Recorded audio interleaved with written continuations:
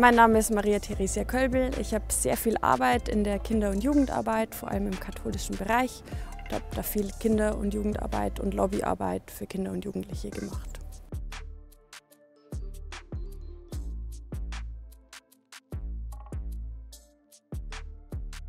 In einer Gesellschaft im Krisenmodus werden Entscheidungen oft von oben nach unten getroffen.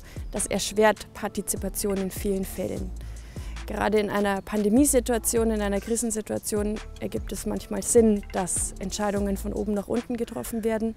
Umso wichtiger ist es dabei aber, diese Entscheidungen zu erklären, die Gesellschaft mitzunehmen. Und ich fordere, dass noch mehr in Demokratiebildung und Partizipation investiert wird, denn nur wenn alle mitreden können, können auch gute Entscheidungen für alle getroffen werden.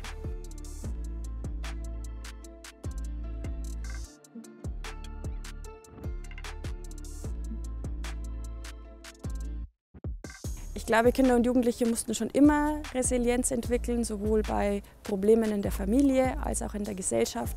Durch die mediale Präsenz werden gesellschaftliche Probleme oft präsenter für Kinder und Jugendliche. Umso wichtiger ist, dass sie dabei gut begleitet werden, sowohl von den Familien, von den Eltern, von den Bezugspersonen, aber auch von ausgebildetem pädagogischem Personal. Deswegen fordere ich, dass die sozialen Einrichtungen noch mehr von pädagogischem Personal haben, um auch Kinder und Jugendliche gut begleiten zu können. Ich glaube nicht, dass ein verpflichtendes soziales Jahr wieder dazu führen würde, dass die Gesellschaft wieder mehr zusammenrückt. Da gibt es viel zu viele andere Probleme, die da mit reinspielen. Viel notwendiger wäre es, in die Freiwilligendienste zu investieren und dafür zu sorgen, dass junge Erwachsene die Möglichkeit haben, sich ein Jahr für Orientierung und soziale Dienste zu nehmen.